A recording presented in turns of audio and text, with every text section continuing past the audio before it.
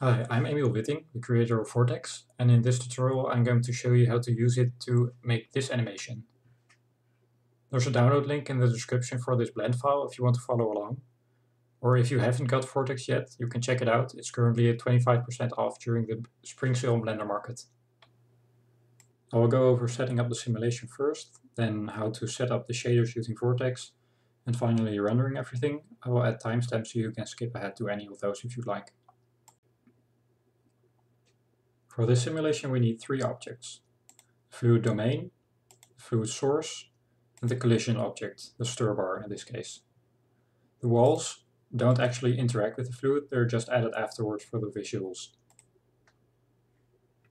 To make animation easier, I've set the origin of the stir bar to be the same as the origin of the world, so now if we rotate it, it's going to rotate about the center of the box. There are definitely better ways to do this, but this is just quick and easy. If you move to the first frame of the animation, you can press I to make a new keyframe for location and rotation. Move to the end the animation, press R to rotate around the Z-axis, that in 360 degrees. Press I again. And now if we play the animation, it moves around exactly once during the entire animation.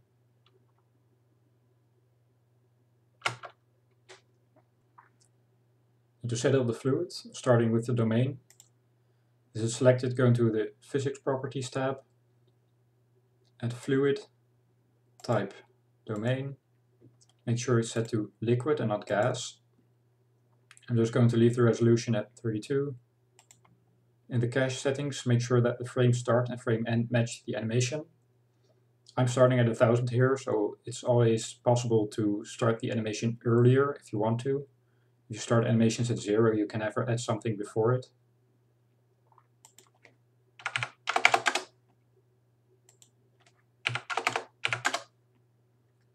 And I'm setting the type to all, which I just find easier to work with when baking.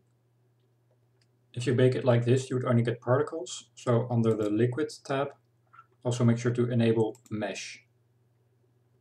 The domain is the bounding box where the entire animation fits in.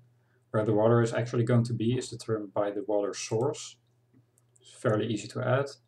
The fluid type is flow. Also make sure to set it to liquid again. And flow behavior is simply geometry.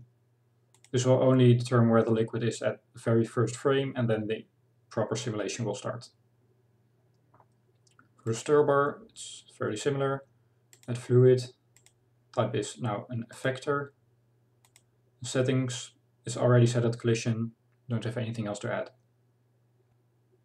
Now back in the domain settings, we can bake the entire simulation in one go, because I've set the type to be uh, bake all.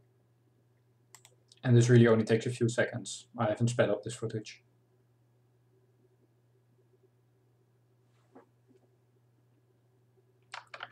So now the animation is working with both the particles and the mesh. We can now start adding the shaders with Vortex. If you move to the Shaders tab, you'll notice that the geometry source is still very blocky, and the domain has taken the shape of the water. So the geometry source can be excluded from the viewport and from the render view entirely. You can add the new water material to the domain. Just remove the default material. Start by adding a point density node, which is under texture. You can now select the domain object, and the particle system called liquid will already be created.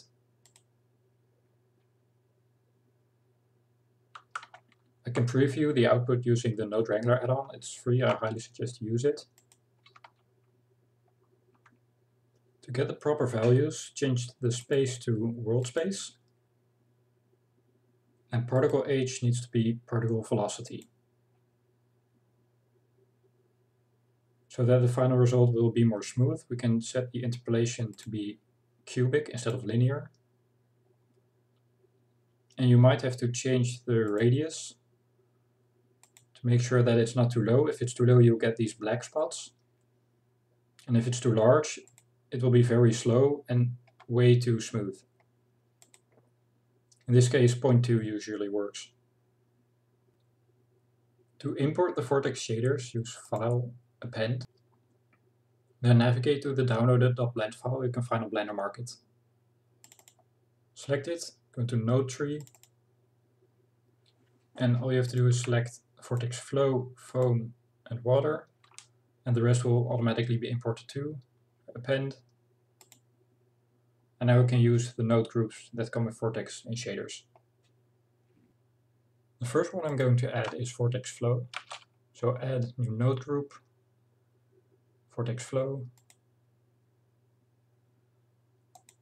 Connect the color to the particle velocity, and the density to the particle density. So expand it a bit so I can read all the values. You can see already that there are some waves and ripples. If you want to make the effect stronger, you can increase the flow distance. The larger it is, the more extreme the distortions will be and you will get thinner ripples. We'll have to animate the time value. To make that a bit easier, I'm going to add a timeline at the bottom of the shader view. Move to the first frame. And you'll see that the shader doesn't look correct now. You don't have to worry about this. This is only in the preview. If you reload, it will be correct again. And in the final render, this will automatically reload each frame. What I'm usually doing is for the time value setting it to the frame count, so 1001 in this case. Pressing I while hovering on the value to add a new keyframe. Do the same at the end of the animation.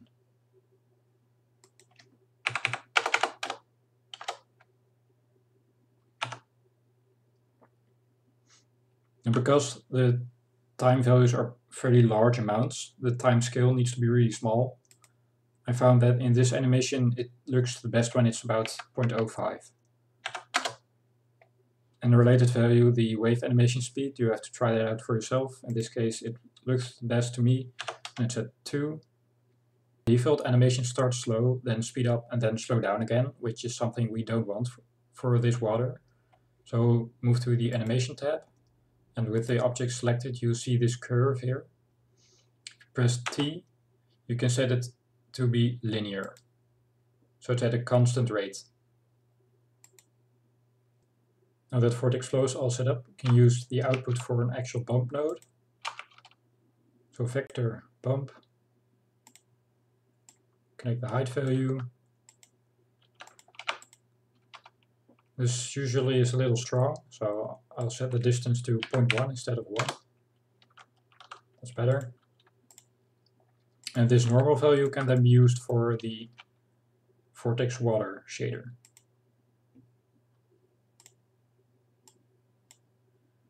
Connect the normal input. And now both the surface and the volume to the material output Adding foam with Vortex Foam is very similar to using Vortex Flow.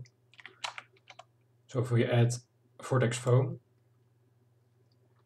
we can connect again the color to the particle velocity, density to particle density, and the time value can be animated the same way.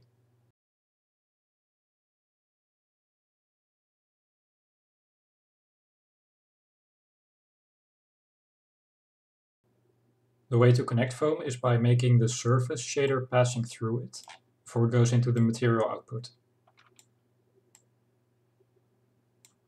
Right now you can't see any foam, which is because the threshold is set too high. It's currently at 0.5. If you set it to 0, then the entire surface is covered at least slightly with foam. So the best value is usually just above 0. Let's try 0.05. That looks a lot better. Part of the foam is determined by the crests of the wave, so the tops. The crest foam, if you set it higher, you'll notice that all the round parts of waves have a lot more foam. While the rest, the acceleration foam, is determined by the simulation. To break up the foam texture, there's a few options for noise. I'll increase the strength of the large noise right now and change the scale of the noise, which gives it a much more rough and random look to it. The fine noise is really the fine details and graininess of the foam. And that was everything we needed to do for the shaders. If you want some more information about the values I skipped, like the wave, detail, roughness, wind, you can see the documentation on Blender Market for that. I'll now quickly go over the process of rendering and exporting the animation. First let's enable the walls again, just for the viewport, it was already still visible in the renders. Things to note, I've enabled denoising data for using the compositor. And I'm currently rendering at 50% of the final resolution, just so I don't have to wait as long. I'll quickly render. And in the compositor you'll see that I have not connected denoising albedo, even though I enabled it through enabling denoising data in the render layer. Because I found that with reflective materials like water, it usually looks better if you leave it out. I'm going to turn down the amount of foam first.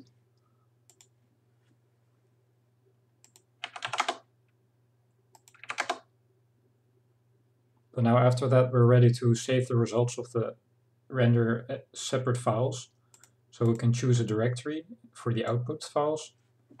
Just call it frames for now. Now the final render can be done using render render animation or Control F12.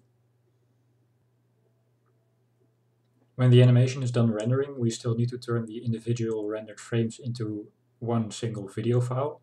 That can be done in Blender 2, adding a new tab for video editing. Then add image sequence and select all your rendered files.